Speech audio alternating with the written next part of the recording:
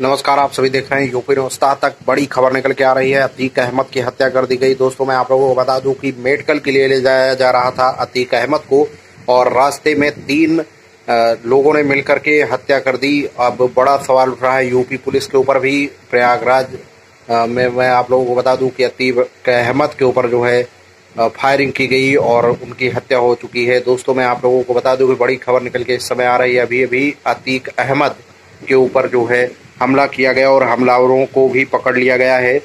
तीन हमलावरों को पकड़ा गया है। दोस्तों, मैं आप लोगों को बताना चाहूँगा कि यूपी में अभी दो तीन दिन पहले उनके बेटे का भी इनकाउंटर हुआ था झांसी में।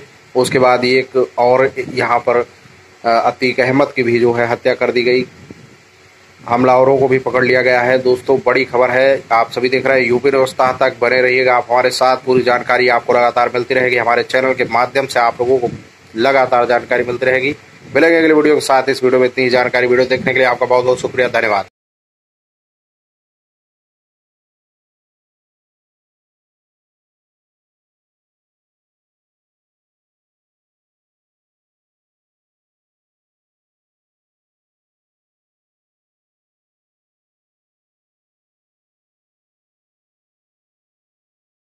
नमस्कार, आप सभी देख रहे हैं यूपी नौस्ता तक बड़ी खबर निकल के आ रही है। अतीक अहमद की हत्या कर दी गई। दोस्तों, मैं आप लोगों को बता दूँ कि मेडिकल के लिए ले जाया जा रहा था अतीक अहमद को और रास्ते में तीन लोगों ने मिलकर के हत्या कर दी। अब बड़ा सवाल उठ रहा है। यूपी पुलिस के ऊपर भी प्रयागराज में मैं आप लोगों को बता दूँ कि अतीक अहमद के ऊपर जो है फायरिंग की गई और उनकी हत्या हो चुकी है। दोस्तों, मैं आप लोगों को बता दूँ कि बड़ी खबर निकल के इस समय आ रही है। अभी अभी अतीक अहमद के ऊपर जो है हमला किया गया और हमलावरों को भी पकड़ लिया गया है।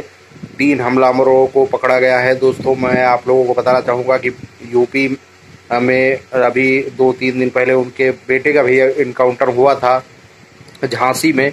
उसके बाद एक और यहाँ पर अतीक अहमद की भी जो है हत्या कर दी गई। हमलावरों को भी पकड़ लिया गया है। दोस्तों, बड़ी खबर है। आप सभी देख रहे हैं यूपी व्यवस्था तक बने रहिएगा। आप हमारे साथ पूरी जानकारी आपको लगातार मिलती रहेगी। हमारे चैनल के माध्यम से आप लोगों को लगातार जानकारी मिलती रहेगी। मिलेंगे अगले वीडियो के साथ। इस वीडियो में इतनी जानकारी। वीडियो देखने के लिए आपका बहुत बहुत शुक्रिया। धन्यवाद।